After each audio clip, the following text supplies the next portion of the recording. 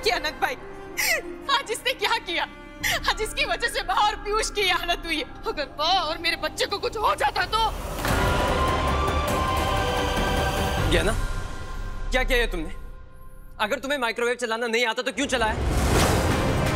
ऐसी बेवकूफ़ वाली हरकत करने की क्या ज़रूरत थी? अरे, तुम्हें यूज़ करना नहीं आता तो किसने बोला था इसमें केक बनाने के लिए? अगर कुछ हो जाता तो? आज तुम्हारी वजह से हादसा होते होते बचा है। अरे माइक्रोवेव फटा है, पता है तुम्हें क्या है सारा घर चल सकता था कुछ भी हो सकता था समझ में आ रहा है क्या बोल रहा हूँ मैं?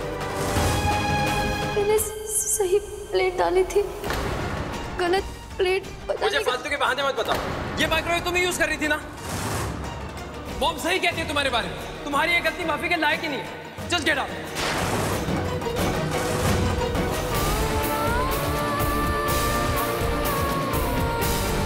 समझ में नहीं आ रहा है कहना से इतनी बड़ी गलती कैसे हुई?